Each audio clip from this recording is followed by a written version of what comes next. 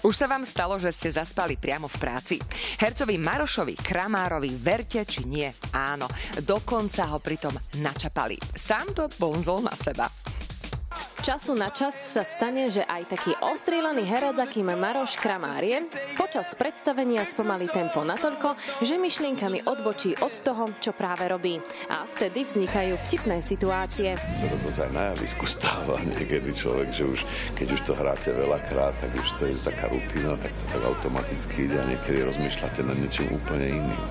Takže môže sa to stať. Maroš si spomenul na úsmevnú príhodu z divadla sa dokonca stalo, že som zaspal na javisku.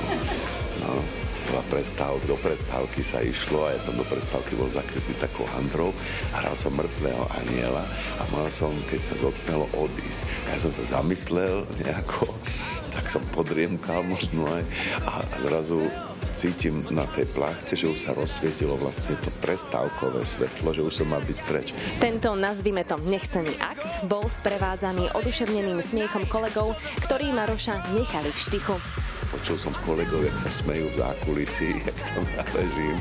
A teraz som si predstavil, to som ešte fajčil, som sa tešil na tú cigaretu, na záchod, že cez prestávku, že pokecáme.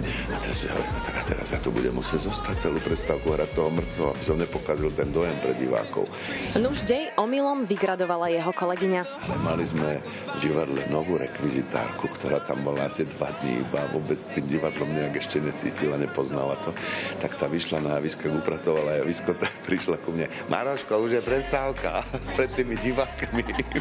tak ja som sa odopil, odišiel som preč. To bolo dosť trápa. Martina Štefánková, televízia Joj.